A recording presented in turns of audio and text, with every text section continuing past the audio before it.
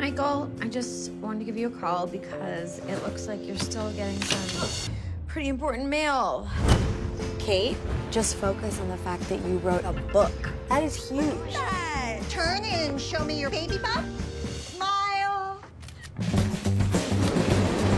Guess where I am? Where? In Carbondale. Welcome back, right? David Kirkpatrick brought me down to do a reading. Oh, thank you. Thank you. Kate was in my very first class ever as a professor. How's your book doing? Not as good as I would have hoped. What would you think about teaching here? Teaching here. It would be nice to have you here again, Kate. Hi. I used to live here. Seriously? We're having a party.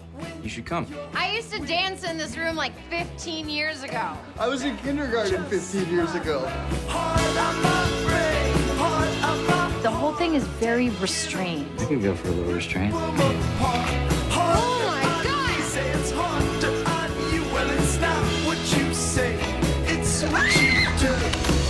You want to see something?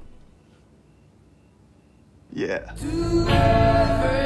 What happened with you, and your boyfriend? You mean my fiance? Were you hoping you guys would get back together? Oh, I'm so pathetic.